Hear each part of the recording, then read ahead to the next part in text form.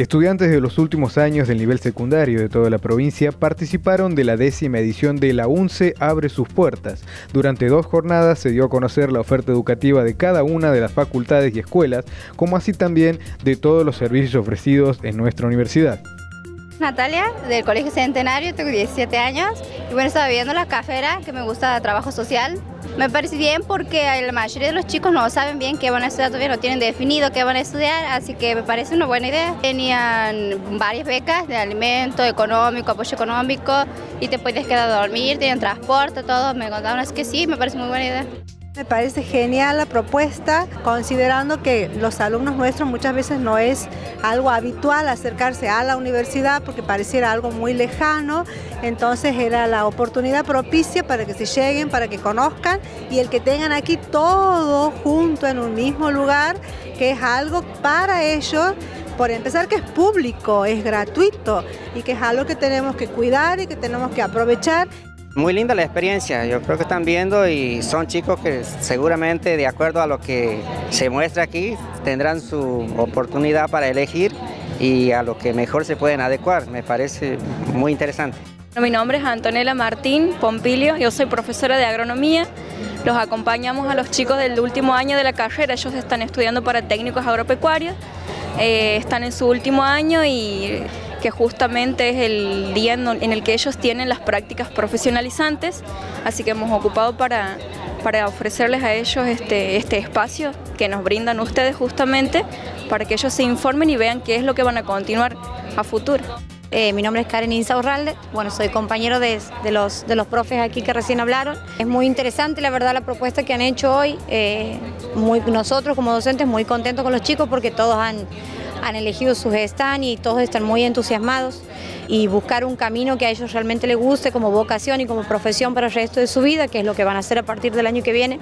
Me parece buenísimo que nos inviten a, venir porque también hay chicos, compañeros de que no saben todavía qué están, o sea, qué quieren hacer después de salir del, del secundario y bueno, está buenísimo de que no, nos permitan hacer esto. Se firmaron tres convenios marco de cooperación entre la UNCE y representantes de entidades profesionales, con el objetivo de consolidar lazos de trabajo conjunto y colaborativo. Participaron de este acuerdo interinstitucional miembros de la Asociación Civil de Profesores Universitarios de Santiago del Estero, el Colegio de Kinesiólogos y Fisioterapeutas y el Colegio de Psicopedagogos de la provincia. Y estamos seguros que vamos a hacer grandes cosas eh, en bien no tanto de los egresados de la universidad, sino de la comunidad en general.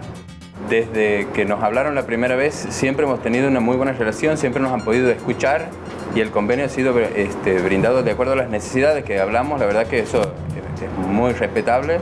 Es importante este convenio porque a nosotros nos abre una puerta y a la vez agradecemos el reconocimiento de la universidad hacia este colegio. Y con este convenio para nosotros nos abre muchas puertas para, para un progreso como colegio.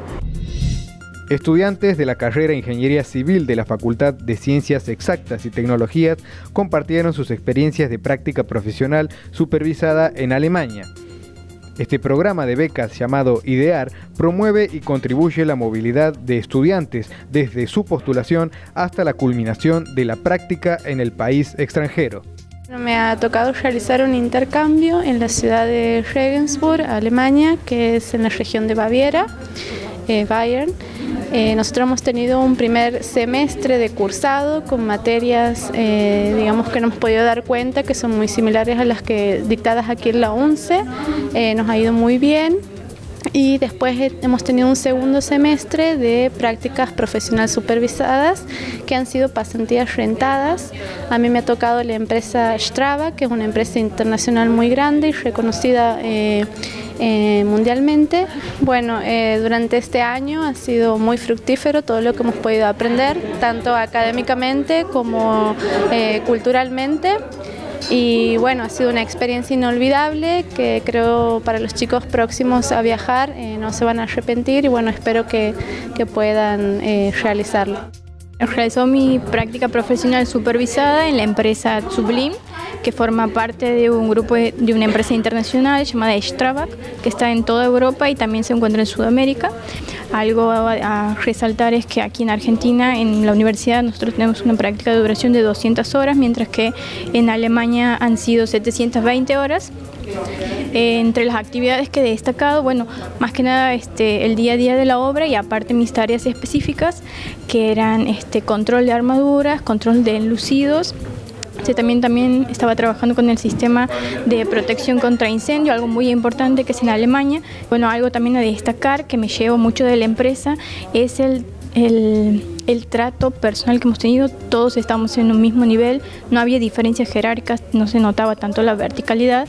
Eso eh, en particularmente a mí me hizo sentir muy bien, no sentirme ni menos que alguien ni más que alguien. Entonces eso es algo que me llevo sí de la empresa se firmó un convenio marco de pasantías educativas con la empresa Mad Finance. De esta manera, estudiantes avanzados podrán adquirir experiencia práctica y complementaria a su formación académica y contribuirán desde su formación al desarrollo de las actividades en dicha empresa.